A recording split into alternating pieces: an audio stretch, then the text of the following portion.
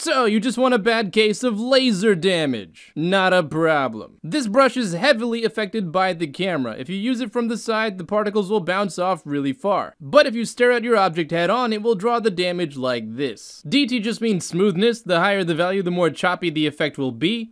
Speed is how long the particle takes to get from the camera to the object. The more fade opacity, the more the ends of the particles fade out. The larger the size, the more prominent the fade becomes. The more powerful the laser, the bigger the damage will look. The higher the particle life, the longer the particles will stay active. The higher random particle life, the more random the duration of each particle's life will be. The higher the speed, the faster each particle will go before it dies. And spread determines how random the directions of each particle will be. Hope that helps, and as always, hope you have a fantastic day, and I'll see you around.